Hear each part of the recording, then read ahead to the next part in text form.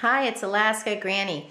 Recently I discovered these wine candles and what it is is like a bead with a wick and it fits right in the top of a wine bottle. Chimney that goes over it so as you have a little oil lamp. So look for these for romantic nights and emergencies in case there's no electricity. You need to funnel it in. Make sure you keep a funnel and you label it so you don't get mixed up and use your funnel with food. You take an empty wine bottle, you fill it with oil, you put on the wick and the bead, and then you add the little chimney.